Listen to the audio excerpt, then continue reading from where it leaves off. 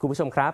นอกจากรายการของสถานีแล้ว สามารถอัปเดตสถานการณ์ข่าวสารรอบโลก ในรายการบันทึกสถานการณ์ เวลา 8 นาฬิกาถึง 9 นาฬิกา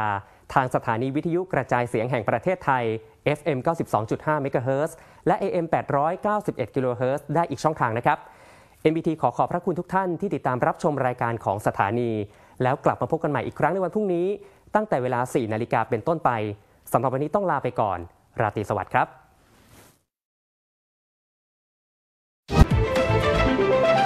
you.